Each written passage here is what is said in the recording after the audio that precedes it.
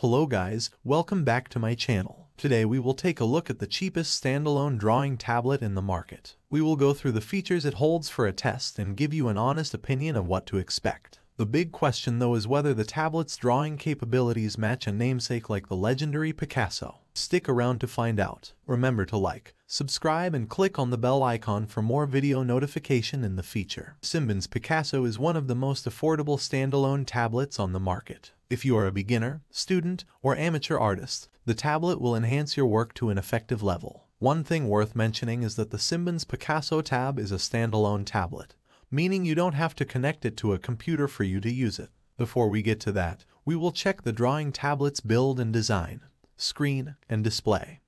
And finally, what we all want to know, the drawing experience. Additionally, we will highlight the processing features of the tablet, as well as the internal storage. Simbans refers to the Picasso tab as the best gift for beginner and graphic artists. They further assure you a smooth playing time with games like Angry Bird, Minecraft, Candy Crush, and Sims. Build and design. The Simbans Picasso tab features a panel size of 14 by 8 by 2.1 inches. This is a good size that enhances mobility and portability. The lightweight build of 2, pounds is further great for portability since you can comfortably slide it inside your backpack. However, I would prefer a slightly bigger tablet, maybe a 13.3 inches size that is quite comfortable to hold as you draw. But don't get too alarmed, it could be a large palm disorder on my end. On the front of the tablet is a 2.0M camera and on the rear a 5.0M camera. The tablet has a faux leather casing that protects the tablet from scratches and dust and is easy to clean. That is it on the build and design.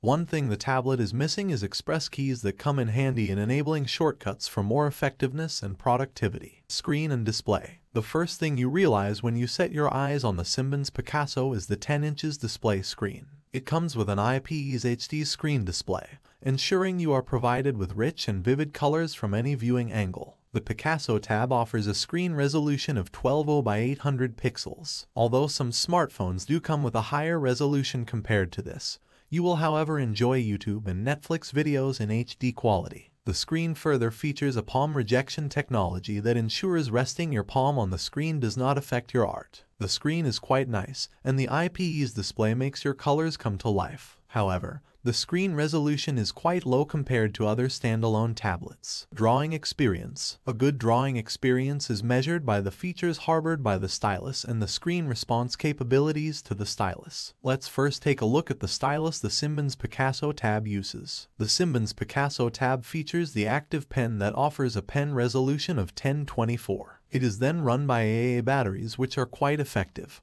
in that they offer a quality 8 minutes 10 HRS of usage after a full charge. Additionally, the pen is built for comfort, and being lightweight, drawing and note-making is easy and comfortable. This is impressive for a tablet that is sold at such an affordable price and that size. Processing and RAM Almost all drawing tablets of the Picasso Tab's price range are either pen tablets or display tablets. Simbans Picasso being a standalone tablet, it is powered by MediaTek quad-core MTK8163 chipset combined with a RAM of 2GB and 32GB internal storage. In comparison to the high-end standalone tablets, these RAM and internal storage levels may be quite low. If you are not comfortable with the internal storage size, you can expand it using a microSD card. However, when you consider this as an entry-level standalone tablet, it is quite understandable why such low levels. Pros, budget-friendly, portable and mobile, quality IPS display, long-lasting battery life stylus, upgradable internal storage. Cons, low levels of pen pressure sensitivity, low RAM levels, low levels of screen resolution. Conclusion Simbans Picasso Tab being an entry-level standalone tablet is quite a good tablet for beginners. It will efficiently get work done before you get yourself a more professional standalone tablet. Some of the setbacks you will encounter are low-level pen pressure sensitivity, low RAM, and internal storage. However, no one should complain after such a bargain on the price. There we go. Hope you now have an overview on what to expect when you purchase the Simbans Picasso tablet. Remember to share, like, and subscribe. Goodbye.